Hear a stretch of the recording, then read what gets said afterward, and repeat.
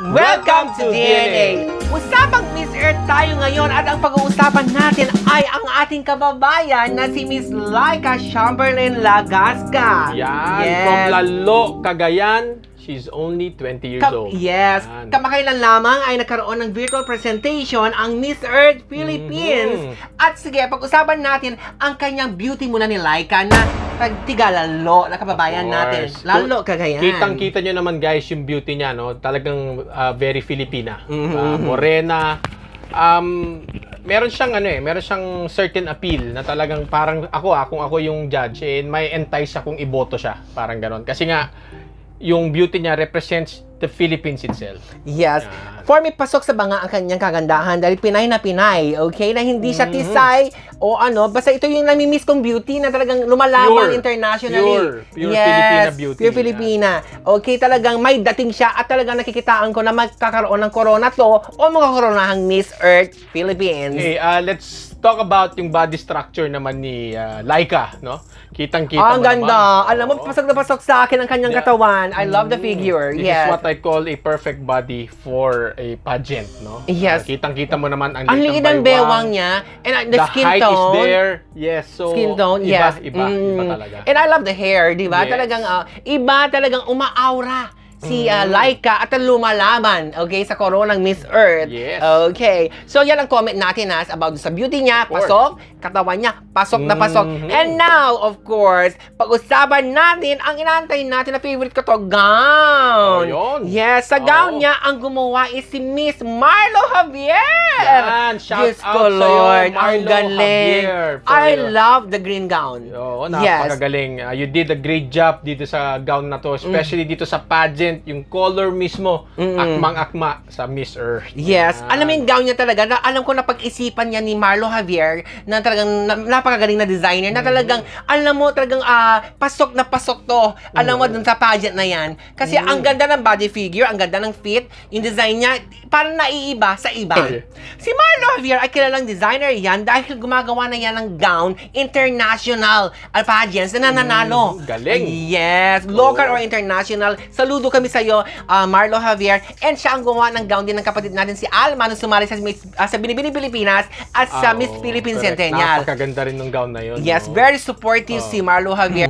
And maraming salamat sa tulong mo at suporta, Marlo Javier, sa Miss Lalo na si Laika Chamberlain Lagasca. Alright, going to her next costume, no? Again, designed by uh, Marlo Javier, the one and yes. only Marlo Javier.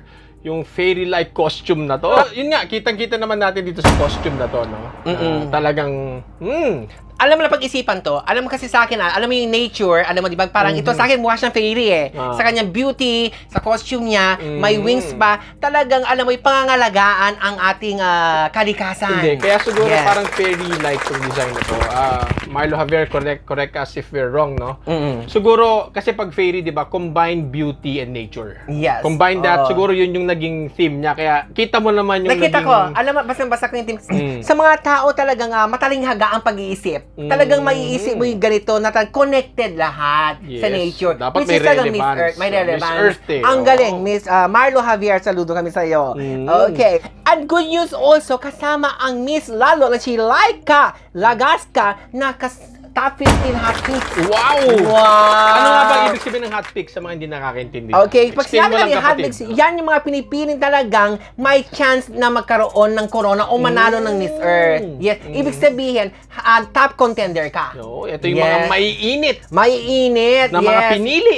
At kasama Yun talaga siya. ng station na yan. Yes. Alam mo, according sa mga pageant experts ha, Mm. nasabi talaga na flawless ang kanya performance. Lahat flawless ang kanya Wow. performance. Ay, yes. kitang-kita naman sa yes. pictures, ah. Pageant experts explain Mm. about dun sa performance niya ng ganda-ganda nga.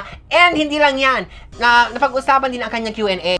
Diversity is my core in this journey Kabawi din naman siya sa huli. But I think it will not hinder So, sa kanyang replacement sa top 15. The- Pasok pa rin yan sa akin. The Q&A was virtually done as well, tama ba? Yes. So, ah, yung si Chamberlain, nakikita ko talaga na talagang may laman ito. Mhm. At uh, beauty ah, Pilipina. Congratulations sa iyo, Laika Lagasca. Okay. Free, uh, for a job well done. Yes, Yan. Kasi oo. dun sa virtual presentation mo, marami talagang ah, namangha sa inyong performance.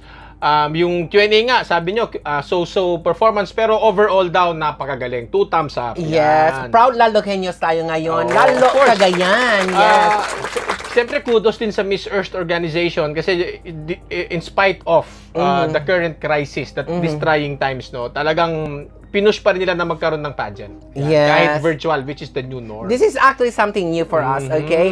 And of course, papalabas ang G sa GMA 7. yan. Aha, Kapuso. ano, live na ba yan? Sa July stage na ba 5. yan o virtual pa rin yan? Well, malala, ibabalita natin yan Okay. sa, sa susunod na Miss Earth uh, news natin. Update. Ah, Update. sige. Yes. Okay. So, congratulations sa iyo, Laika, for doing a good job.